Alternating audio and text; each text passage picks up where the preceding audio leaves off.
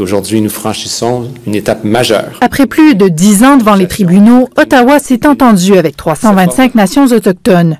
Le gouvernement fédéral leur versera 2 milliards 800 millions de dollars, des fonds qui serviront à dédommager d'anciens élèves de pensionnats pour autochtones pour perte de leur langue et de leur culture. Ces gens-là surtout méritent de voir des actions et de pouvoir guérir, de pouvoir en sorte tourner la page. Le litige collectif de la bande de Gottfriedson a été intenté par une Première Nation de la Colombie-Britannique, puis rejoint par d'autres nations, notamment par le Grand Conseil des Cris du Nord du Québec. Cet accord ne signifie en aucun cas que notre travail est terminé.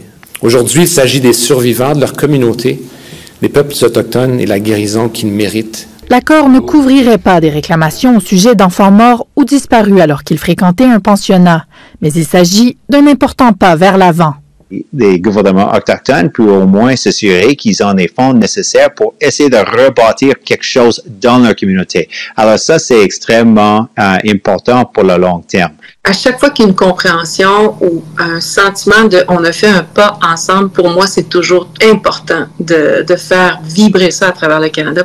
Mais même après plusieurs actions, des commissions d'enquête, la réparation est loin d'être atteinte. Le système peut changer, peut s'améliorer, mais la perte d'une langue, d'une relation avec un territoire, euh, d'être arraché à sa culture, ça, ça va être plus difficile. Alors, j'ai hâte de voir la suite.